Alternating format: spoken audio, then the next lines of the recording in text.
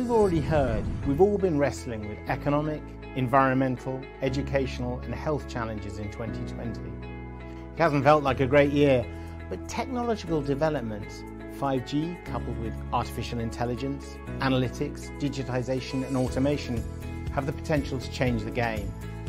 So let's look at what 5G can do for us all. Our analysis forecast that 5G enabled use cases, that is, use cases that require 5G coupled with other technologies, could add $1.6 trillion to GDP in 2030. That's the equivalent of over $200 in the pocket of every human on Earth. We looked at eight industries in detail, and in conjunction with executives from those industries, developed a set of 5G enabled use cases, which we then quantified via surveys within each industry across developed and developing markets. We'll look at three industries in detail in a minute. But what is clear is that 5G can have a significant GDP impact in energy and extractives, that's oil, gas, mining, in manufacturing, in media, sports and entertainment, and in transport and logistics, where GDP increases range from 3.5 to nearly 5%. For example, transport and logistics can benefit directly from 5G in three ways. Firstly, by enabling better routing of deliveries and thereby reducing the percentage of vehicles running empty or with low capacity utilisation. By enabling drones and robots to be used to deliver packages over the last 100 metres or so, saving time and fuel. And thirdly, by enabling traffic infrastructure, traffic lights and so forth, to be altered real time to improve traffic flows. But more efficient and effective traffic infrastructure also has a knock on effect to other industries by freeing up time for commuters and employees. Some of that time will be spent productively and realise an additional 2.2% of benefits in those other industries. Nearly half of the GDP benefits we forecast from 5G in 2030 come from manufacturing. In part, that is due to the sheer size of the industry. It is, after all, 20% and 30% of the US and China's economic output, respectively. And 5G can also generate big changes in manufacturing. We identified three use cases which collectively account for around 600 billion of the 740 billion dollar uplift we forecast for manufacturing in 2030. The first is enterprise AR, that is using augmented reality headsets to guide a worker via augmented displays and or a video communication to a remote expert when carrying out maintenance and repair tasks on factory machinery. The second use case in precision monitoring and control involves the real-time monitoring and control of robots, machine tools, even the end product using hundreds of thousands of sensors. For example, this might involve changing the speed of a specific factory process based on sensor information about vibration, temperature, or even the composition of raw materials. The third use case, advanced predictive maintenance, uses sensors to give an accurate, real-time representation of the status of a machine so that downtime can be reduced by predicting problems ahead of time so that maintenance can be scheduled at times that do not disrupt the factory. As you can see, benefits are very significant, particularly for precision monitoring and control and enterprise AR, both of which cannot happen without 5G. Predictive maintenance already exists, and 5G therefore only offers incremental benefits.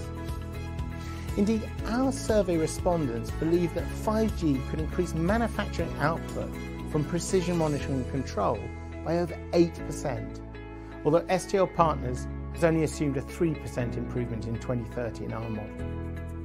The COVID pandemic has resulted in significant increase in digital health solutions, and the telecoms operators have stepped up.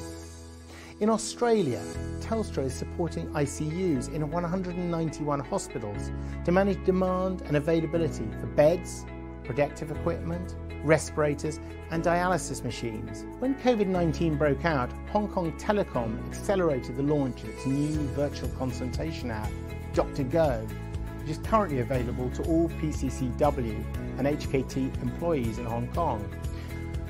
And this focus on health solutions has created a fantastic launchpad for 5G enabled use cases such as high definition virtual consultations the remote monitoring of patients with multiple 5G-enabled sensors, an ambulance connected to hospitals and specialist practitioners via high-definition video.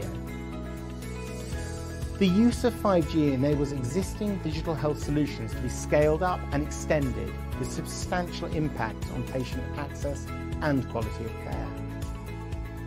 By 2030, we forecast that 5G will enable hospitals to free up 4.2 million bed days, increasing global hospital bed capacity by 6%. It will enable nearly 900 million more patients to be seen by doctors and other medical practitioners, a whopping 15% uplift.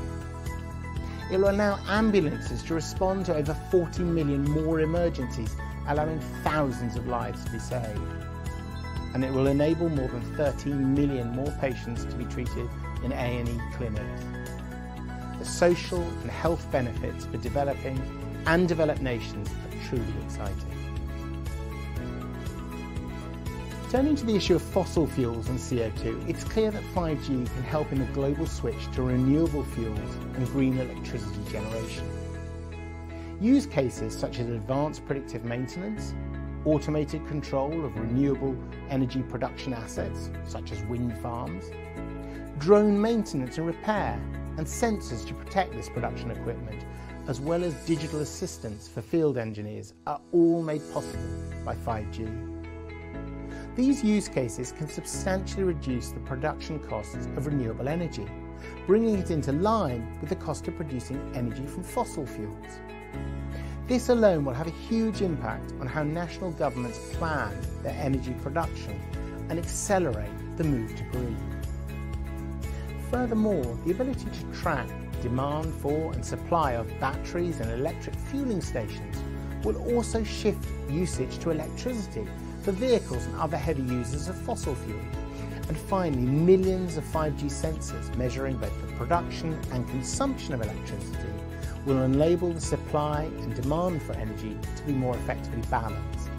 For example, where the demand for electricity is not time critical, it can be matched to green energy production by following the sun or wind, rather than creating excess demand which requires the use of fossil fuels.